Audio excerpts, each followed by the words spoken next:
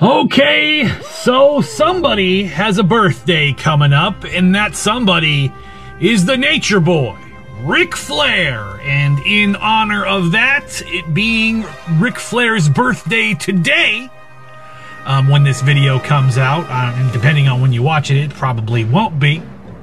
But we are taking a look at the Ric Flair Ultimate Edition articulation for authentic posability by Mattel. It's an ultimate WWE figure, uh, not the free word, not the road word. The ultimates from the uh, uh, Super 7, but uh, WWE's version of that, it seems.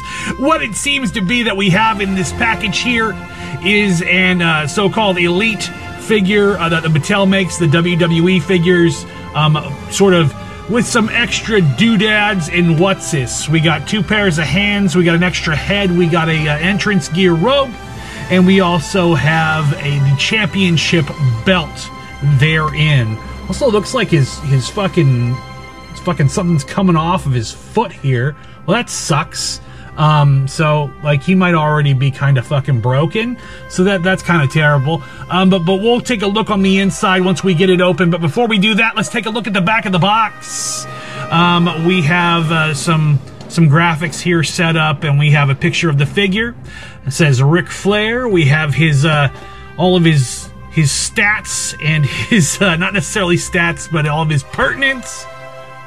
Six foot one from Charlotte, North Carolina finisher, the figure four leg lock uh, career highlight, 16 time world champion.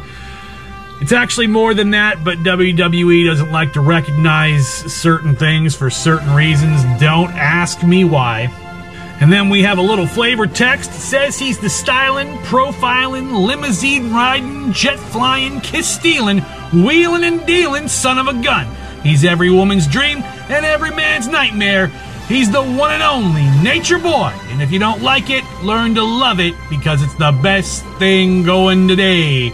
Woo! That's what it says on the back of the box. Of course, a little quote from uh, Ric Flair himself. Um, but these were a little, I want to say these were like oh, almost 40 bucks uh, at Walmart, Target, wherever you might find them. Um, they might be a little bit less than that. I can't remember exactly how much it costs.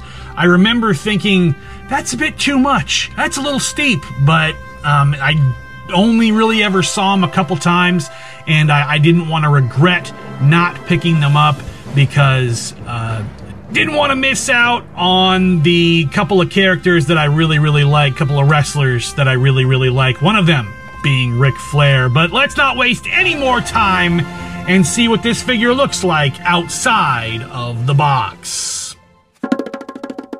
Okay, and now he's outside of the box, and uh, yeah, this is Ric Flair.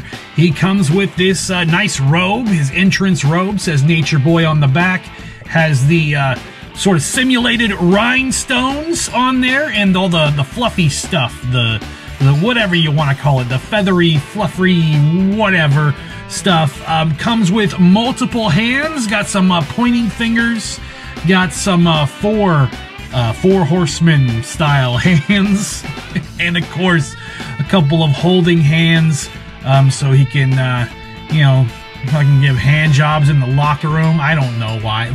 he didn't come with anything to hold.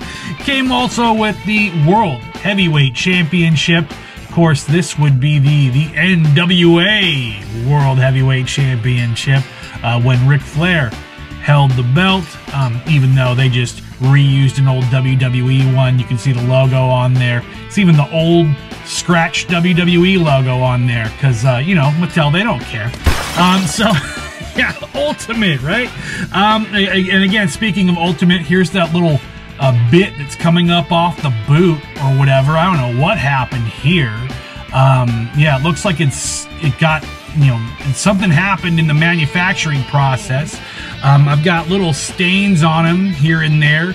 Um, yeah, ultimate. Yeah, ultimate. But what I will say about this figure on the plus side, um, that it is very posable. It does look, besides the little issues, it does look nice. Um, you know, it comes, it comes with two heads, has a woo face, Woo! Look at that. And, uh, and of course, a, a, smiling, happy Ric Flair. You get two two heads. Um, pretty cool. Um, I, would say worth it. Um, it. I wish it didn't have the little problems. It's hard to tie this robe shut because uh, it's just this stiff ass ribbon um, that doesn't like to stay tied, and, and, then it's too short really to tie in a bow. Um, it's so it's hard to tie in a bow if you want to do that. So I don't know. Uh, very cool figure though. Uh, for for having a Ric Flair figure of the Ric Flairs that are out there, is this the ultimate Ric Flair figure? I gotta say, in my opinion, yes. This is the, for right now, this is the ultimate Ric Flair figure. Um, you must have the best Ric Flair figure that, that uh, money can buy out there right now, this is gonna be what you're what you're looking for.